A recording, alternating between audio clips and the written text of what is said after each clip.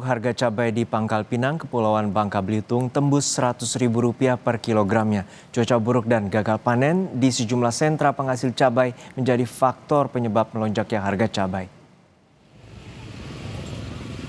Memasuki awal bulan puasa, harga cabai di pasar pagi Pangkal Pinang Kepulauan Bangka Belitung mengalami kenaikan. Untuk cabai rawit yang semula dijual dari harga Rp80.000 kini naik menjadi Rp100.000 Cabai merah dari Rp55.000 kini naik di angka Rp65.000. Kenaikan harga disebabkan faktor cuaca, gagal panen, juga harga yang sering berubah di awal dan akhir bulan Ramadan. Karena kenaikan harga cabai, konsumen pun terpaksa mengurangi jumlah pembelian cabai. Gimana Bu harga cabai naik nggak Bu?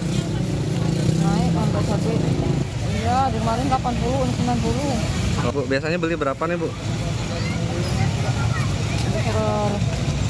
per kilo seon lah mahal Nah, jadi karena mahal beli se seon ya Bu ya.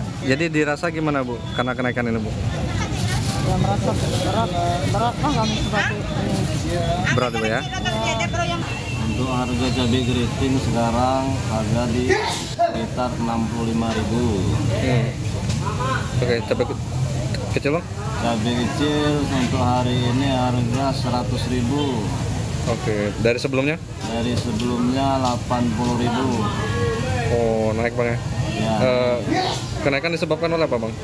karena faktor cuaca saya ya petani banyak gagal panen.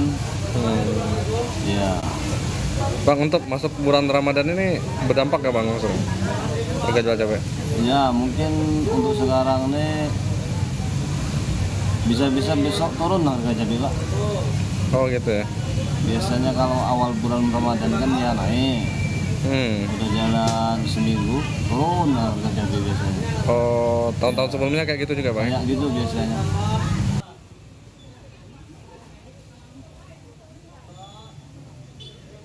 Kenaikan harga cabai pun diikuti oleh harga bawang merah dan putih yang biasa dijual dari harga Rp35.000 kini menjadi Rp40.000 per kilogram. Dampaknya, omset pedagang pun menurun. Riyadi, Kompas TV, Pangkal Pinang, Kepulauan Bangka Belitung.